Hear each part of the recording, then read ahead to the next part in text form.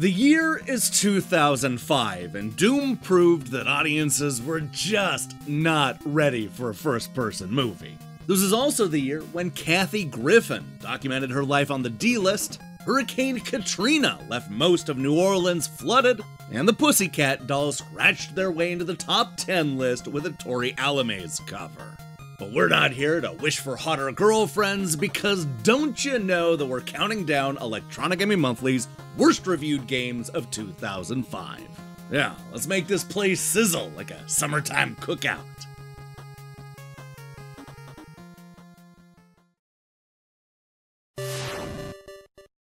If you watched me count down the best reviewed games of 2005, then you might remember when I said that for the first time in close to a decade, no games earned a perfect average of 10 out of 10.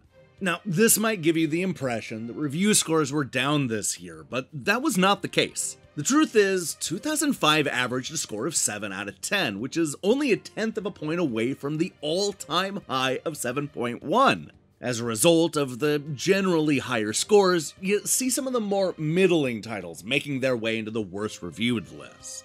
A perfect example of this is GunGriffon Allied Strike on the Xbox, which would not have made it onto a countdown like this in any other year. With an average score of 3.5 out of 10, it's only the 187th worst review game in EGM's history. Far from the usual dreck that we normally talk about here. If it had only come out in 2004 or maybe 2006, it would merely be a bad game and not one of the worst. John D zeroes right in on the problem. Allied Strike would be a mess even if the Xbox didn't already host a few very capable, if not exemplary, mech games for comparison. Choose a polygonal, drab walking tank from a lineup of increasingly more polygonal, drab tanks and outfit it with your pick of a small handful of stunningly similar guns. Then take it out for a spin in the field where the norm is a vast brown, tan, or green landscape dotted with vague elevation changes and 2D trees and fences you can walk right through. Not over, through. Kevin liked it enough to give it a 5, but wondered What's the point, especially when your friends are tearing it up with MechAssault 2 on Xbox Live? On a system full of high profile mech games, GunGriffon Allied Strike is the worst.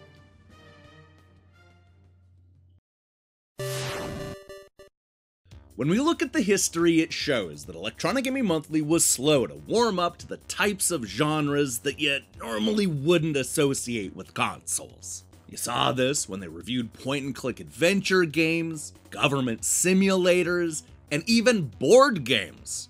Now, thanks to Sprung, you can add dating sim to that list. While the idea of flirting with virtual characters may be a little bit more common these days, it wasn't the kind of thing that the EGM editors were used to reviewing in 2005. As a result, the scores were decidedly mixed. Shane applauded Ubisoft for taking the initiative to wade into the untested waters of the dating game genre, but ultimately found Sprung to be more frustrating than fun. In most levels, there's only one dialogue path that doesn't end in game over, so Sprung quickly turns into repetitive guesswork. It's an interesting experiment for the teen people crowd, but one that begs for improvements.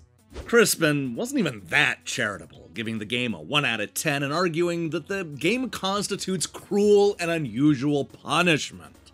Let's hope future anthropologists never dig up Sprung, lest they deduce the 21st century dating involved put down contests, rote memorization of conversations, and the exchanging of dead fish and lint brushes. Worse, they'll get the impression that we bought any awful game that launched alongside a new system. With an average score of 3.3 out of 10, Electronic Gaming Monthly ended up swiping left on Sprung.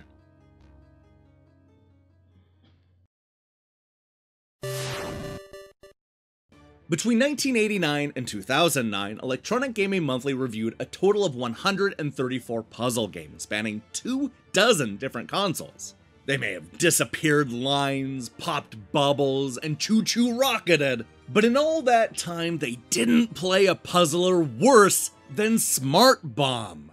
That's right, with an average score of 2.8 out of 10. This completely forgettable PSP release is officially EGM's worst reviewed puzzle game of all time. To Christian, this game wasn't merely bad, but it was actually depressing. Even if it were done well, its unambitious collection of logic puzzles would still be stale. But the painfully restrictive time limits and sluggish controls pushes it well beyond my tolerance while the die and retry gameplay only makes it worse. Shane concluded that the makers of Smart Bomb are just trolling you. The developers have even engineered shocking new methods of making the game less enjoyable. First, you can actually die in the menu while choosing the next puzzle thanks to an ever-present countdown timer. Next, the torturous boss encounters boil down to vague trial and error defusing and strict time limits prepare to replay these levels a few times. He concluded the PSP owner should stick with Lumines, which is honestly sound advice. With an average score of 2.8 out of 10, Smart Bomb isn't just a terrible puzzle game, it's the very bottom of the barrel.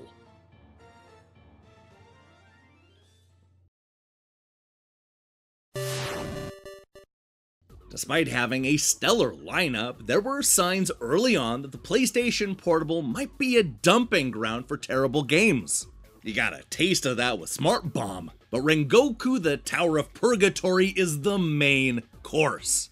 With an average score of 2.3 out of 10, this offensively repetitive action game is the magazine's lowest scoring PSP game. And I don't mean the lowest scoring of 2005, but rather of all time. In fact, out of the 112 reviews, EGM has Rengoku and Smart Bomb as the system's two worst games. Ooh, looks like this was a year full of dubious honors. Dana trying to get to the bottom of what made this game so terrible. There are a lot of things to dislike about Rengoku, but I'll start with the fact that it seems like it was developed for the PlayStation 2 and then ported to the PSP with no thought of how the two systems differ. The scale is so small that it's hard to see your opponents, and the detail of your robot are lost in the mostly dark, repetitive environments. Speaking of repetitive, the game's monotony was Shane's principal complaint. One of Halo's designers once said that a great game is actually the same 15 seconds or so of gameplay over and over, Apparently, when they created Rengoku, a dull, clunky action title so repetitive you almost get the feeling the developers at Hudson Soft took Halo's designer literally. He concluded his review by agreeing with one of the game's villains, who said, Everything that happens in this tower is pointless. Nothing but endless destruction and warfare. Yeah, with self aware writing like that, Hudson had to see the low scores coming. Rengoku, the Tower of Purgatory, landed on the PSP with a thud and an average score of 2.3 out of 10.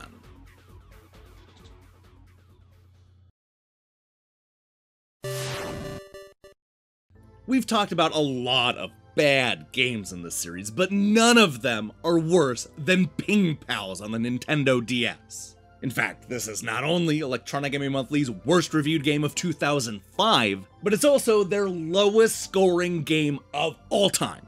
It's a game so bad that two different critics gave it zeros. So bad that it actually rated lower than a game that was ripped off the shelves after only a few months for having underage nudity. That's right, a game this bad can only be Ping Pals a first generation Nintendo DS release that is so absolutely terrible that some of the EGM editors question if it's even a game. Let's go ahead and let Shane explain why Ping Pals deserves the lowest score possible. What's next on THQ's DS agenda? Clock? Seriously, Ping Pals attempts to replace Nintendo's own pack-in for free PictoChat but fails to offer any incentive for users to choose it over what they already have. Bratz style avatars feel pointless, and the multiplayer games could easily be duplicated by creative pictochatters. An abysmal failure.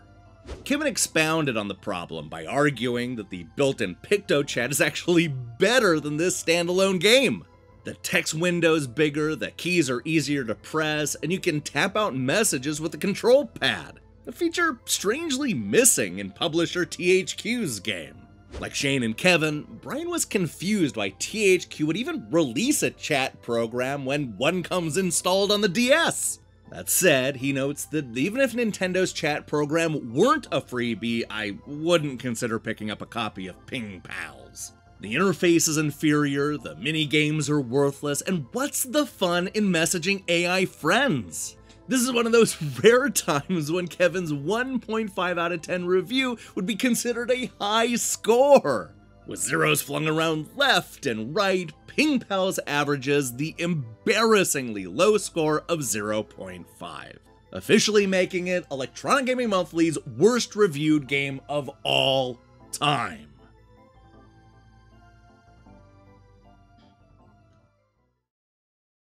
Hey, thanks for watching this episode of Electronic Gaming Monthly's Best and Worst. If you liked what you saw here, then you should know that we'll be posting new episodes leading up to the new year. Now, here's the question I have for you What is your least favorite game of 2005? Like I said, 2005 was overall a pretty solid year, but there were a few clunkers. I mean, this was the year that gave us 187, Ride or Die, Playboy the Mansion, and that awful Splinter Cell game on the DS. Oh man, that was terrible. Let me see your picks in the comments below. In other news, we'll be back next week with, you guessed it, the best and worst reviewed games of 2006. We're nearing the end here, folks. There are only six more episodes left in this entire series. If you want to see how this show ends, then I strongly recommend you click that subscribe button and support what we're doing here. Until then,